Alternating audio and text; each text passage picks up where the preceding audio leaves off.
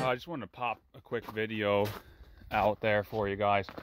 Um, so I was having issues with when I would hit the plow remote, the truck would, um, it's not on this truck, I'll show you in the garage there, but basically this box would make a lot of clicking sounds like the relay was fluttering. Um, lights would come on on the plow but yeah, it, it, you know, it wouldn't lift. It would just click. Uh, I have luxury of all the trucks out. Um, report model. Have the luxury switching parts all around. That's nice. Um, so I'll just show you here real quick. Shot. So this is the truck uh, setting up just to have as a backup.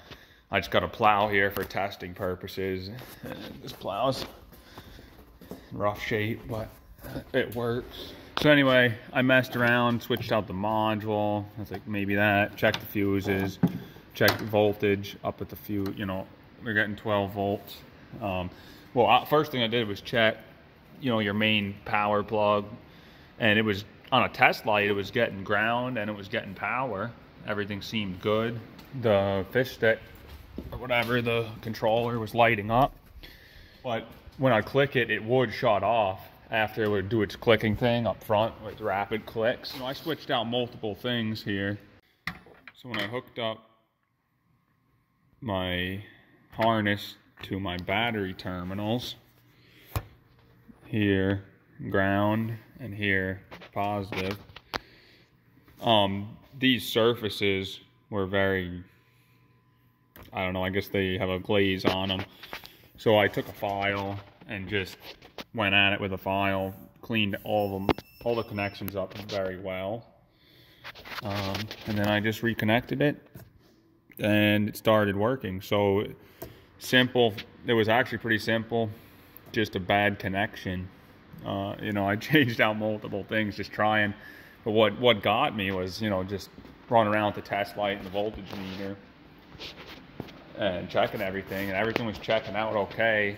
And I was just getting ready to start, you know, I tested these, I'd unplug them and plug them back in and they would click, the relays. Uh, I was like running out of things to check.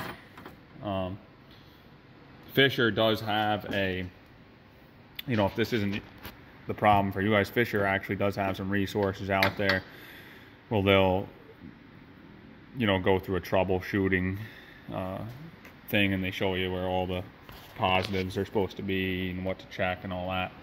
But module, everything checked out okay. It was just bad connections. So uh, with with all that, I don't know if it was this battery. This is just extra, but um, when I put that in, that battery was sitting around for a while. Uh, when I put it in, I don't know if it shorted out or something because at the same time, then now this is the diesel engine here, but at the same time, um, my uh,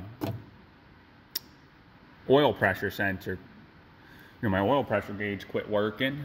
Uh, it would read, it would be like maxed out, and now it's reading zero. So I don't know if it had anything to do with that. Uh, it seems kind of like it did, just because uh, it happened right at the time when I put that battery in. So I'm just happy it didn't mess anything else up. But that's about it.